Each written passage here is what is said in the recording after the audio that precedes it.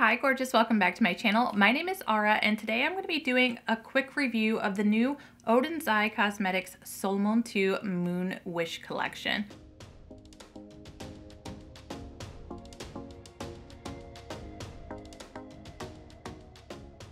I picked up the palette and one blush and one highlighter. The palette is still in stock as of today that I'm filming it. It is $32.90.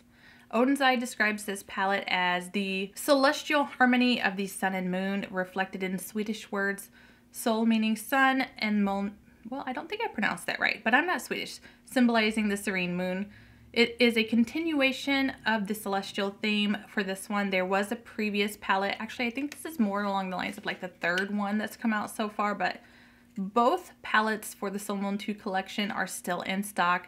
This one, the Moon Wish palette combines shades evocative of moonlight in the night sky, blending serene blues and radiant yellows. The palette is 15 shades. You get 8 mattes, and seven shimmers. It's a perfect mix for my preferences. I absolutely love split evenly down the middle each reflecting mystical allure of Nordic mythology. The palette comes with a matching sleeve. It is vegan and cruelty free, which we love that. The shelf life on here, I can barely read it. It's in such tiny print, but I think it says 24 months. If I'm wrong, I'll put it on the screen, but I mean, I need my glasses for that and it's hard to do makeup while I'm wearing my glasses. Each shade is listed on the back of the palette here. You get 16 grams of product, which is 0.56 ounces total. It is made in China. I was captivated by the absolutely beautiful artwork here. It's a little bit deeper than the first Solmane 2 that I have that came out, I want to say it was two years ago. It's just so aesthetically pleasing. I was happy with the size of this collection. I feel like the collection wasn't too large. Sometimes when a collection's too big, I'm kind of put off by that. I don't want everything in an enormous collection. I feel like this was just the right size. It came out, I want to say a week ago. My shipping was pretty quick. Everything came packaged in bubble wrap. The blush and the highlighter are both 11 grams each and both vegan and cruelty free. However, I can't tell you how long the shelf life is because I cannot read the label on the box. It's too tiny. The packaging is so beautiful. The blush is $20.99 and the highlighter is $22.90. This video does have timestamps listed below, so if you're interested in one particular thing, skip right ahead. I'll meet you there. Otherwise, we're going to start with my eye makeup, and then I'm going to show you the cheek products.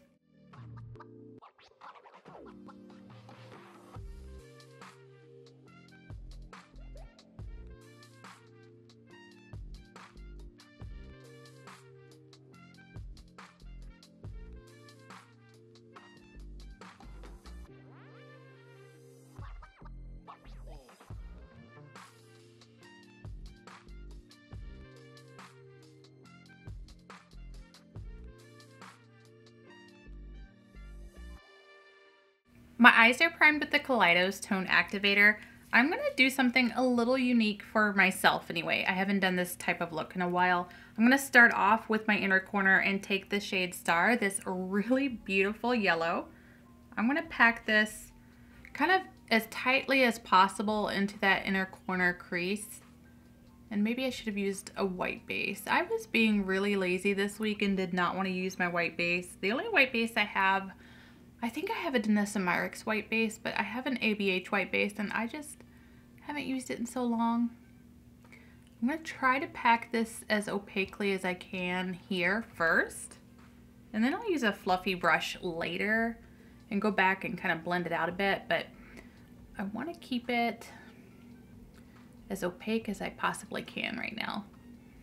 I'm going to take dark matter on a Rephr 01 brush and I'm going to start on this outer corner first and just kind of pack it into this crease. And then from here, once I get as much of the pigment off of the brush, I'm going to start to diffuse it a little bit and bring it as far out as my brow bone, not brow bone, but like eyebrow.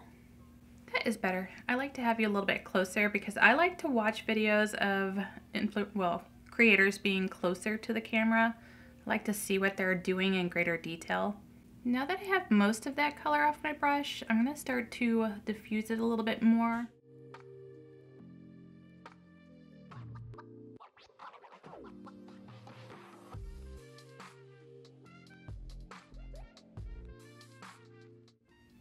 I'm going to gently bring it as far out as my eyebrow. I might even diffuse it further out a little bit later. I'm taking Lunar Eclipse on a Rephr 14. I'm going to start by packing this into the outer corner first and kind of building it into my crease because I have quite the fold right here.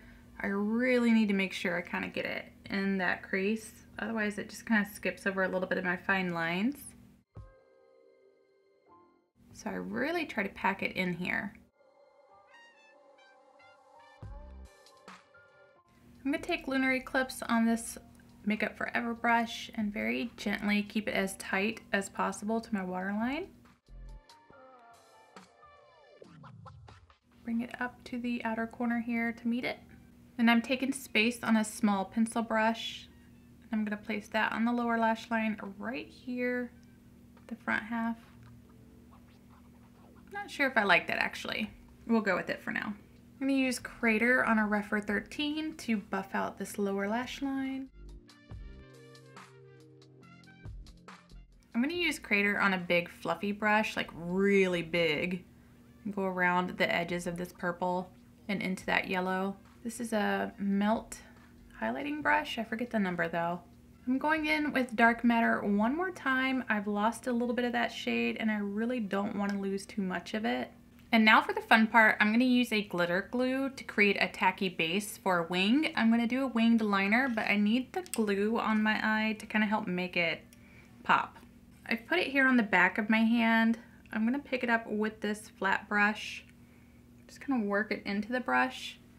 I'm gonna start here at the halfway point. And I'm just going to get all that glue as close to my, my eyelashes as possible.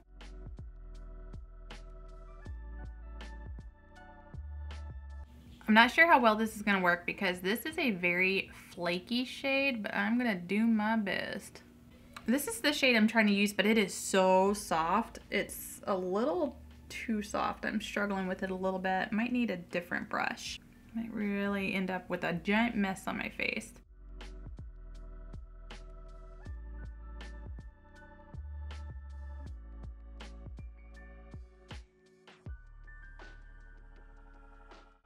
Use that shade Moonlight and dust it over that blue that I placed on my lower lash line just to kind of create a tear effect. And I definitely do not recommend doing a blue wing with this metallic Neptune. It's too soft and too flaky, so not really a look that I would recommend using that shadow for. Probably better if I had just used it on the entire lid.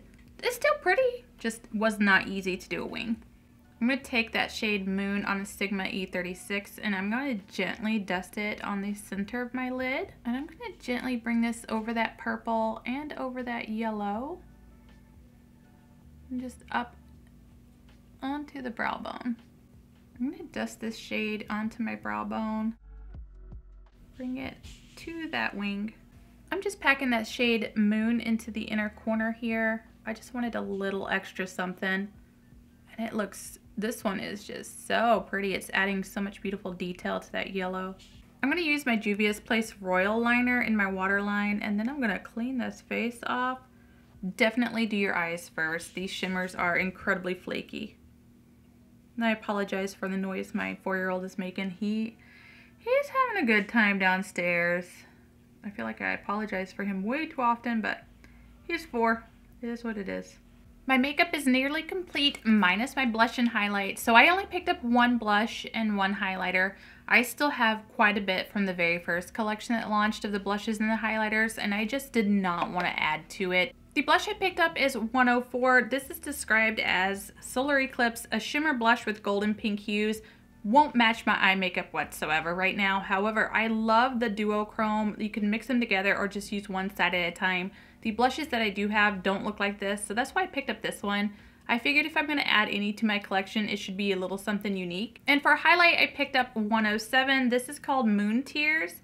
Shimmer highlight with light champagne gold and multicolored star-like sparkles. So I'm going to put one on each cheek just so you can kind of see what they look like on their own. I kind of wish I had picked up the pink instead. I feel like the pink would probably look a whole lot better for me. This has an overspray to it, so it's a lot shinier in the pan or more sparkly in the pan than... I think after you take that top layer off, it should look a little more toned down, but it's a pretty bright blush. I'm just gonna kind of dip my brush in between both shades. And I'm, oh, it is very sparkly. And I'm gonna put this very, very sparkly. Oh my goodness. So not for the everyday. I will not be using this every day at all or for work. But I think after I get that top layer off for sure of all that overspray shimmer, it would look a lot prettier. It might be way too sparkly even for me. I don't know how I feel about this. In hindsight, I probably would have been better off just getting one of the matte blushes did not expect this to have such a strong shimmer. In the promo pictures, it didn't look so heavily sparkly. It looked like a shiny, shiny, shimmery blush, but not, not as strong of a shine as all I'm getting. I feel like I'm just getting sparkle and not so much pigment, pigment from the blush. I'm going to use Moon Tears on a highlighter brush from Danessa Myricks. This also has a strong overspray to it.